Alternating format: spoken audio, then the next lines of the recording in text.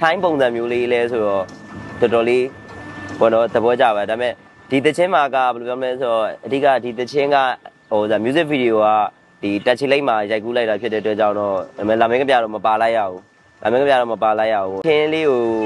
ဟိုဘာရှင်းအနေနဲ့ဖန်တီးဖြစ်တယ်တန်းကြီးသိန်းပလာလာကုန်လဲဆိုတော့သိန်း80နဲ့90ကြားမှာကုန်တယ်ဒါပေမဲ့ဒီတချင်းရဲ့ပေါ့နော်ဒီ music video နဲ့ရိုက်ကူးရေးရိုက်ကူးရေးအတွက်ကိုပဲအကုန်လုံးကဒီဒီတာချီလိတ်က BFC ဘာပိုင်ရှင်ပေါ့နော်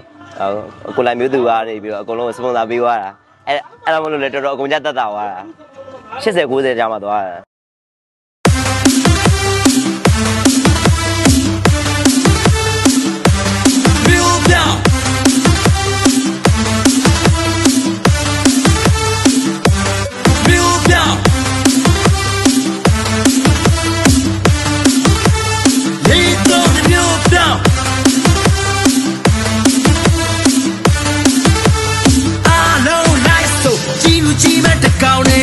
ပမာနဲ့ကြည့်ဘူးအိမ်ပမာသာဟောဒီမှာသာအာလာလာအာလာလာဘလို့ရေကိုစားပါယောရှုတီတာစားပါယောမြို့သီးလေးဆက်တယ်ဗျအာလာလာ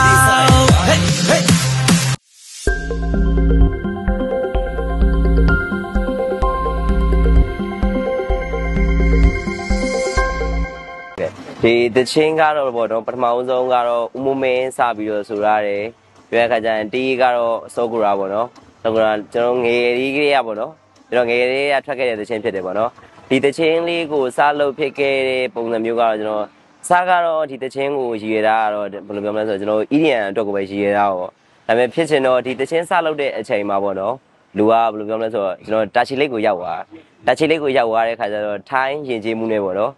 နီးစက်ပြီးတော့ပေါ့နော်ဒီလိုမျိုးဟိုဘယ်လိုပြောမလဲဆိုတော့ထိုင်းပုံစံမျိုးလေးပေါ့ဒီတချင်းလေးကိုတီးပြစ်သွားတယ်တီးပြစ်သွားတယ်အစကတော့တချင်းကိုမဆိုဖြစ်ဘူးပေါ့နော်ဒီဥမမွင်းဖော်ကဲနဲ့ပဲစပြီးတော့ထုတ်မယ်လို့ပဲလုပ်ထားတာဒါပေမဲ့အဖေကလည်းတိုက်တွန်းလိုက်တယ်ပေါ့ဒီဒီတချင်းကိုစုပ်ဝေးပါအဲ့ဒါနဲ့ဒီတချင်းကိုအဆိုရဒီပေါ့နော်ဒီတချင်းကိုအဲ့ဒါနဲ့ဆိုလိုက်တယ်ဒါအဆိုရတော့မဟုတ်ဘူးပေါ့နော်အဆိုရတော့မဟုတ်ဘူးဒီတချင်းကိုဆိုတယ်ပြီးရခါကျရင်ဒီပေါ့ဒီ featuring ကြတော့မလာမင်းကပြပေါ့နော်မလာမင်းကပြနဲ့တွဲပြီးတော့ ဟိုစား DJ မိုး DJ မိုးလိုက်နဲ့ DJ မိုးဆိုပြီးတော့အဲ့နဲ့ဆိုလိုက်တယ်အဲ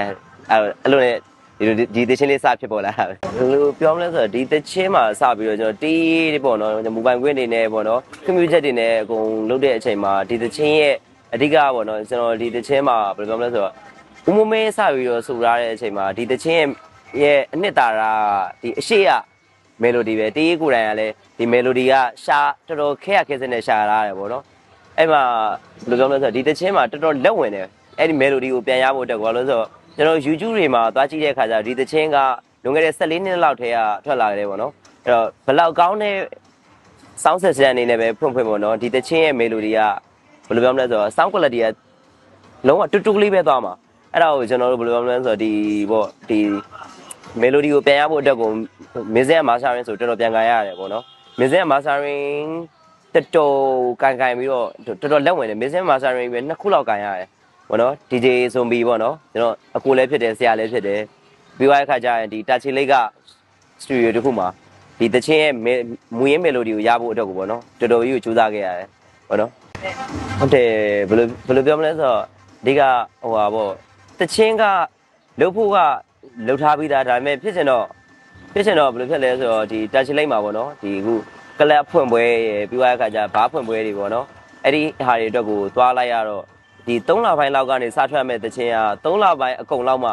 အဲ့လိုမျိုးစထွက်တဲ့ပုံစံမျိုးဖြစ်သွားတယ်ဒီကောင်ကဘယ်လိုပြောမလဲဆိုတော့ကျွန်တော်ကဒီတချင်းလေးကိုပေါ့ဟို copyright တော့မလုပ်ထားဘူး Destino ပေါ့နော် Destino ကိုကိုစင်လင်းတို့ပဲ Iroma ပေါ့နော် Destino Entertainment နဲ့ပဲလက်တွဲပြီးတော့လုပ်သွားတာပေါ့နော်ဘယ်လိုပြောမလဲဆိုတော့ဒီအခုကျွန်တော်အခုလုပ်ထားတဲ့အတိုင်းပဲဒီအရှိရနေပြီးတော့ဒီပေါ့နော် တမျိုးပြောင်းတို့၄၃တမျိုးပြောင်းတို့ဘာလို့ဆိုတာအဓိကဟိုကဥမမင်းကိုဥမမင်းကိုဒီအရင် respect ပေးတဲ့အနေနဲ့ပေါ့နော်ထည့်ပြီးတော့ဆိုရတယ်အဲပေါ့နော်အစတချင်းမှာတချင်းကြီးပဲပေါ့နော်အရှိကြီးပဲကျွန်တော်ဟိုဟာ၄မိနစ်ကြော်ကြော်လောက်တချင်းနေကြီးပဲတောက်လျှောက်ပဲအဲ့ဒါမှဒီတချင်းမှာတရေးရဲ့ခွင့်ပြုချက်ကိုပဲယူလာတော့ယူလာတဲ့အပိုက်ကကျွန်တော်ကျွန်တော်ကြည့်ကြည့်ကြီးပဲတစ်ကောင်နဲ့ကြီးပဲမှလေးအဲအဲ့ဒီအပိုက်လေးရယ် ပြရခါကျရင်တက်ဖတ်တင်နေဆိုတဲ့အပိုက်လေးရယ်ပြရခါကျရင်ဟိုစား correct အပိုက်လေးရယ်ပေါ့နော်အဲအဲ့တချင်းဟာလေးကိုပဲယူပြီးတော့ပဲဒီတချင်းကိုဖန်တီးလိုက်တာပေါ့တော်တော်တော့တူသွားတယ်ဘာလို့လဲဆိုတော့ကျွန်တော်ကလည်းဟိုဘယ်လိုပြောမလဲဆိုတော့ DJ music producer တယောက်အနေနဲ့ဆိုတော့လေတချင်းတစ်ခုလုံးကြီးကြတော့တော်တော်ရှည်လို့လေအဲ့လိုတီးရဲ့ခွင့်ပြုချက်ကိုရပြီးတော့မှလုပ်လိုက်တာပါကိုလည်းတစ်ချင်းဆိုတော့အမှန်တမ်းပြောဒါပထမဦးဆုံးဆိုတဲ့သချင်းပေါ့ဒါပေမဲ့ ဒါပေမဲ့နောက်ဆက်ပြီးတဲ့ဆိုဖို့တော့မရှိပါဘူးနောက်ဆက်ပြီးတဲ့ဆိုဖို့တော့မရှိပါဘူးအဆိုတော့လည်းမဟုတ်တော့ဒါပေမဲ့သချင်းတော့ဒါလျှောက်တီးပါအမှန်တမ်းပြောရရင်တော့အားမရပါဘူးဗျာဘာလို့လဲဆိုတော့ဒီတိုင်းအဆိုတော့ရှာလို့မရငားလို့မရတဲ့အချိန်မှာပေါ့နော်ပြီးတော့အဖေကလည်းတိုက်တွန်းလို့အဆိုပြတ်သွားတာပါဆိုပြတ်သွားတာပါအတန်လည်းအရင်မကောင်းဘူးဟုတ်ကဲ့ခင်ဗျလာမင်းဗျလာမင်းကဗျတော့လာမင်းကဗျတော့သချင်းဆိုရအဆင်ပြေတာသူကတော့အဆိုတော့ ချင်းမှာအဓိကမန်မန်မုံပေါ့နော်ဒီဂျမုံမန်လာမင်းမြန်ဆိုတာကလည်းတော်တော်လေးအဆင်ပြေပေါ့နော်ဘယ်လိုပြောမလဲဆိုတော့ဖန်တီးခြင်းတဲ့ပုံစံမျိုးနဲ့ကွက်တီလောက်သွားကြတယ်ပြောရခါကျ new version ပုံစံမျိုးလေးပေါ့အဲအဲ့လိုပုံစံမျိုးလေးသွားကြတယ်ပြောရခါကျရင်အခုထိုင်းပုံစံမျိုးလေးလဲဆိုတော့တော်တော်လေးဘောနော်သဘောကျပါဒါပေမဲ့ဒီတချင်းမှာကဘယ်လိုပြောမလဲဆိုတော့အဓိကဒီတချင်းကဟိုဇာ music video က ဒီတက်ချီလိတ်မှာရိုက်ကူးလိုက်တာဖြစ်တဲ့အတွက်ကြောင့်တော့ဒါပေမဲ့လာမင်းကပြတော့မပါလိုက်ရဘူးလာမင်းကပြတော့မပါလိုက်ရဘူးပေါ့နော်အဓိကဘယ်လိုပြောမလဲဆိုတော့ဒီတချင်းလေးကိုဟိုဘာရှင်းအနေနဲ့ဖန်တီးဖြစ်တယ်ပြီးရင်ပေါ့နော်ဖြန့်ကြည့်တဲ့ဘိုင်းကလည်းတက်စီနိုဆိုတော့လေဒီလိုဘိုင်းအကုန်လုံးအကုန်လုံးတက်စီနိုပဲကုန်အပ်လိုက်တာပေါ့ဒီသိန်းဖလားလားကုန်လဲဆိုတော့သိန်း80နဲ့90ကြားမှာကုန်တယ်ဒါပေမဲ့ဒီတချင်းရဲ့ပေါ့နော်ဒီ music video နဲ့ရိုက်ကူးရေးရိုက်ကူးရေးအတွက်ကိုပဲအကုန်လုံးကဒီဒီတာချီလိတ်က BFC ဘာပိုင်ရှင်ပေါ့နော် ကိုလိုက်မျိုးသူကားနေပြီးတော့အကုန်လုံးစပွန်ဆာပေးသွားတာအဲအဲ့ဒါမလို့လေတော်တော်အကုန်ကြတက်တာသွားတာ80 90ကြာမှသွားတာဒီတချင်းပုံမှာတီးထားတဲ့ပုံမှာတော့အားကျင်မှုပဲရှိပါတယ်ဒါပေမဲ့ဆိုထားတဲ့ပုံမှာတော့အားကျင်မှုမရှိဒီတချင်းမှာအာကဘယ်လိုအမှတ်တရမျိုးလေးရှိလဲဆိုတော့ပေါ့နော်ဒီတချင်းမှာအဓိကဘယ်လိုပြောမလဲဆိုတော့တော်တော်ကြီးကိုဖြုံးစားလုပ်လိုက်ရတယ်ပေါ့နော်ဘာလို့ဆိုတော့ 3လပိုင်းအကုံလောက်မှာထွက်ဖို့အတွက်ကိုလေ3လပိုင်းကဘာလို့ဆို4လပိုင်းဆုံးသွားမှာဖြစ်တဲ့အတွက်ကြောင့်တော်တော်ကြီးကိုဒီပေါ့ရိုက်ကူးရေးရောရိုက်ကူးရေးရောတီးတဲ့ပိုင်းပေါ့နော်အဲ့ဒီအပိုင်းကိုတော်တော်လေးကိုအားဆိုင်လိုက်ရတယ်ဖြစ်ပြန်သွားတယ်တချင်းလေးတွေများပေါက်နေအရင်ဒီတချင်းကိုပေါ့နော်အဓိကအာရုံရတာပေါ့နော်ဟိုကျွန်တော်တို့အရင်နှစ်ကတကြံနေမှာရောလွန်ငယ်တဲ့နှစ်တွေကတကြံမှာရောကျွန်တော်တို့ဦးမမင်းရဲ့တချင်းတွေဆိုအဓိကကြည်စားသလားလောက်ကိုပဲပေါ့နော် ကြည်စားသလားဟိုပဲတော်တော်အဆိုတော်တွေဆိုကြတယ်ဒီဒီတွေလည်းပြန်လုပ်ကြတယ်ပေါ့နော်ဒါပေမဲ့ဒီအလားလောက်ကိုတော့မဆိုကြဘူးဆိုကြဘာလို့ဆိုဦးမမင်းလဲပေါ့နော်နိုင်ငံခြားထွက်သွားတာလည်းပါတယ်ပြီးသွားတဲ့ခါကျရင်လည်းဒီတချင်းကိုဆိုဖို့တက်ကကြတော့လည်းဘယ်လိုပြောမလဲဆိုတော့အဲဟိုဘယ်လိုပြောမလဲတယောက်တည်းဆိုလို့မရတဲ့တချင်းပုံစံမျိုးလည်းဖြစ်တဲ့အတွက်ကြောင့်တကြံနေမှာလည်းမဆိုကြဘူးပေါ့နော်အဲ့မှာပေါ့အဲ့မှာဒီတချင်းလေးကိုပြန်လုပ်ဖို့အတွက်ကို idea ပြန်ရသွားတာ